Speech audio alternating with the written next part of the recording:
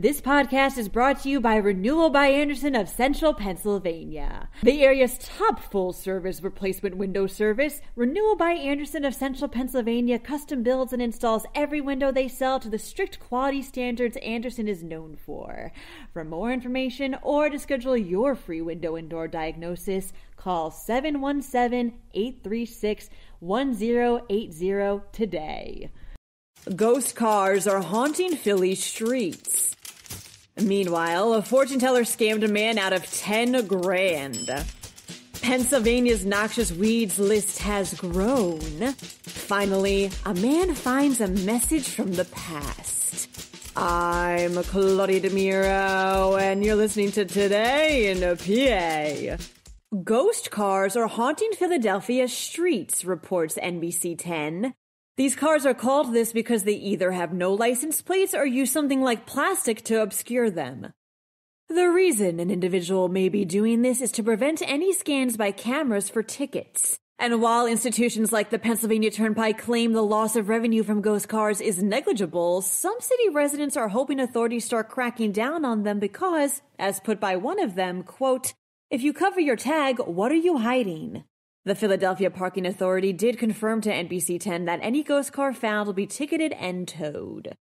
A man in North Huntington was looking for some spiritual help over the summer, so he decided to go to Psychic Novena, reports the Tribune Review. Over $10,000 later, the man went to the police to report Psychic Novena's scam. And this isn't the first time Novena, real name Alexis Candy Mitchell, has had a run in with cops because of fortune telling. In 2019, she charged a woman nearly $4,000 for a spiritual cleanse, among other things, something she was arrested, then freed on bail for. And while you might wonder why the fortune teller is at risk of getting arrested for someone else willing to pay them, by law, it can be illegal if the fortune teller makes a promise that comes with a price. Mitchell, who remains at large, faces charges of theft by deception and fortune telling. Pennsylvania's list of noxious weeds is growing, states the Tribune Review. The State Department of Agriculture recently added the burning bush as well as three types of privet hedge, and nurseries and garden centers now have till January 2025 to phase them out. As for why they received the noxious label, the burning bush has a habit of thriving in shade that causes it to take over woodland understory areas.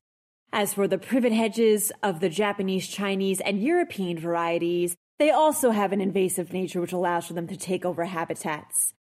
For the full list of Pennsylvania's noxious weeds, click on the link in the related podcast article. Joe Frisetta was taking a stroll with his wife Marcy at Fowler's Hollow State Park in Blain the other day when something caught his eye, says PennLive. A bottle lying on the ground that had a couple of pieces of paper with writing in it.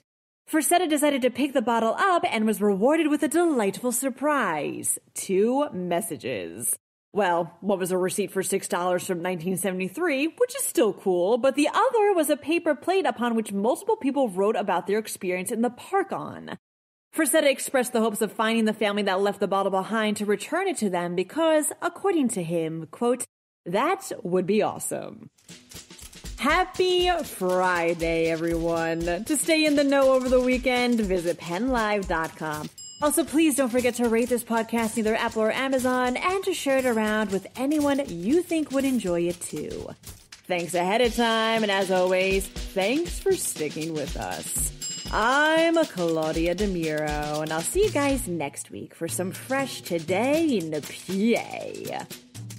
This podcast is brought to you by Renewal by Andersen of Central Pennsylvania. The area's top full service replacement window service, Renewal by Andersen of Central Pennsylvania custom builds and installs every window they sell to the strict quality standards Andersen is known for.